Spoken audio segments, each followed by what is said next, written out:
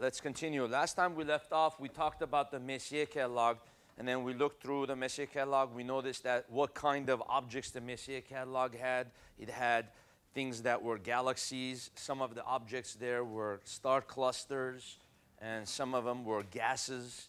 And then we noticed that these were some of the bright ones in there M7, M31, M42, M44, M45. These were some of the most brightest looking Messier objects because when you look at them, if you know where you're looking, you can actually see them without having to use a telescope, okay? And the brightest one, the brightest appearing one is the Pleiades open cluster, okay? Uh, I wanted to show you this picture before we go on. This, I like this one. It's basically, they took all of the Messier object pictures and then they made a whole collage out of them. So this is Messier object number one, Messier object number two, three, four, five, and then so on. so it's going to have one, two, three, four, five, six, seven, eight, nine, ten, right? And then how many rows does it have? One, two, three, four, five, six, seven, eight,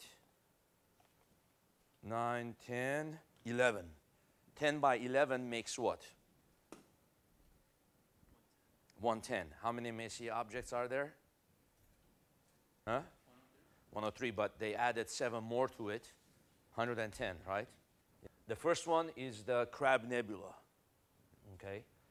Uh, M42 is the Orion Nebula. So if you go um, uh, 40, 41, 42, this is the Orion Nebula. Then you can keep going. This looks like a planetary nebula, you see? Inside of it, the center is the white dwarf. So there's different kinds of nebula, and then there's things that are called clusters. The, what, the thing that we're going to study next are the clusters. The clusters are these guys. Clusters of galaxies. Uh, sorry, clusters of stars. That we're going to study that. And then when you take clusters of stars and you fit them inside of a galaxy, the galaxy is even a bigger entity, okay? A star cluster simply is just a grouping of stars. That's basically it, okay? That are close to each other. They are gravitationally bound to each other and they pretty much stay together for most of their lives. Association is one kind of star cluster. They are a group of widely scattered stars 10 to 100, loosely bound to each other. Loosely bound means they don't necessarily have to stay together the rest of their lives. Uh, they separate from each other eventually, okay? If you think about it, our sun is part of an association, okay? Uh, in the neighborhood of our sun, remember that list that we looked at before, the one that says near stars chart? There's roughly maybe 50 stars or so that's kind of like our sun. Has it has a neighborhood of about 50 stars, maybe up to a maximum of 100. So our sun is part of an association, actually. Okay. Now, a bigger one than that is called the open cluster. The other name for it is called galactic cluster. So you can either call it open or galactic. It's a cluster of more stars, maybe 100 up to 1,000 Okay, so there are more stars in this cluster, young blue stars with an open, transparent appearance, and it's not very tightly grouped together. So, what do we mean by that? Okay, let's do this to show you uh, ideas of it.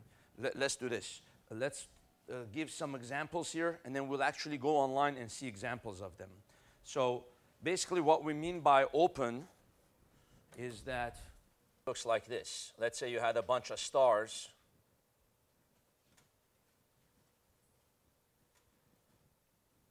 You see, so let's say that you had a star cluster that looked like that. You see the space in between the stars is open. That means there's space that you can see through it. So that means it's not very tightly bound. There aren't too many densely packed stars. Okay? Uh, association would also be open because there's only a, up to 100 stars. It would also look open. So both of them are kind of open.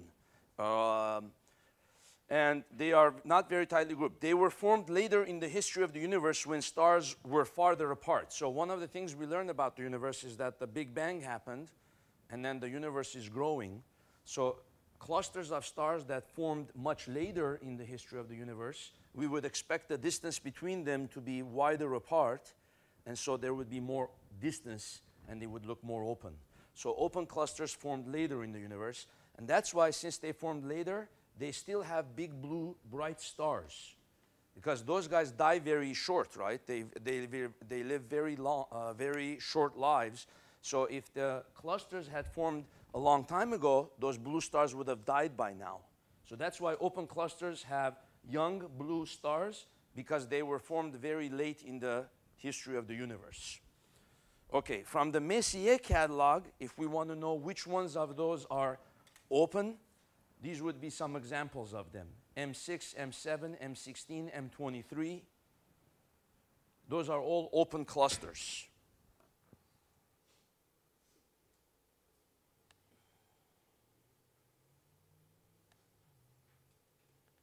You see here, M6, and you go over, open. M7, you go over here, open.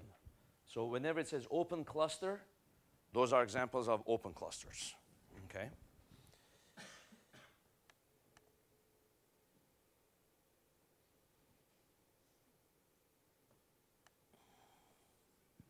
And it's in the constellation Scorpius, and that's why they drew the constellation Scorpius here.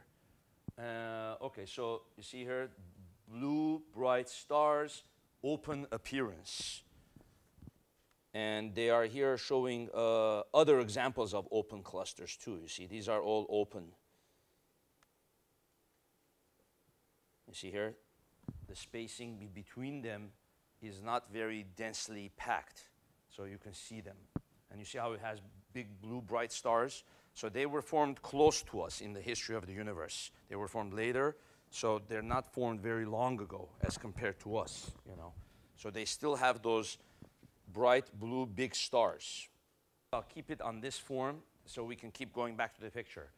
Globular cluster contains many, many more stars, 100,000 to 1 million stars in a sphere of 75 light years. It contains old red stars. That means the blue bright ones have all died.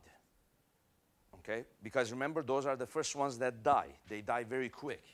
So there's, this one has a lot, lot more stars, very, very densely packed. like this. Imagine having a lot more stars. And now it no longer looks open.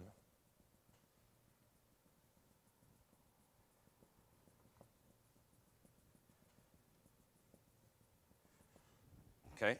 And if we ask the question, why are there that many stars packed together in a globular cluster?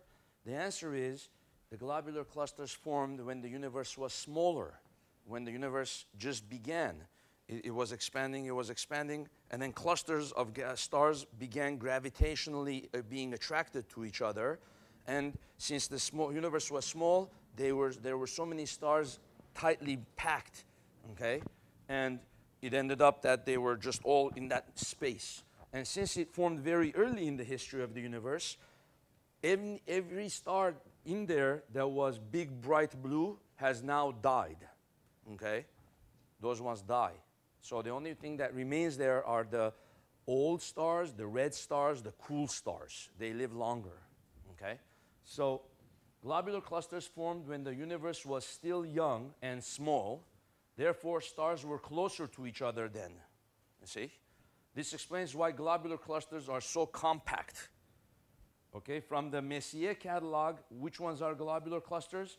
M2, M3, M4, M5, M9, M10, 12, 13, 14, 15, and so on and so on. Okay? If we go back to the website,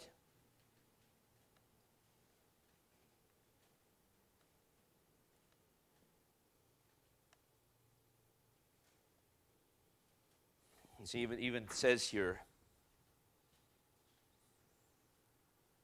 see, a, a sentence from the Wikipedia. A globular cluster is a spherical collection of stars that orbits a galactic core as a satellite. And then what we're going to see next is when we talk about the Milky Way, we're going to ask the question, where are the galactic, uh, the globular clusters in the Milky Way? And then you're going to see that they go around the center of the Milky Way, okay, like a satellite. Globular clusters are very tightly bound by gravity, which gives them, and then so on and so on. They, they explain it. Now, if you look at the images, you'll see very different appearance, you see. See, more redder looking stars, orange looking stars, a lot, lot more stars packed together. It's definitely not open. You can't see through it. Okay, and then here it's showing you if you have the Milky Way, where would the globular clusters be found? They would be found around the Milky Way, going around the center of the Milky Way, you know. So this is globular, globular, globular, and then again globular, globular.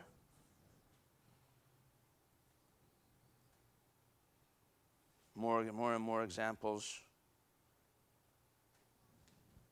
See? So they pretty much look the same. So it's, you can't see through it, therefore it's not called open, you know.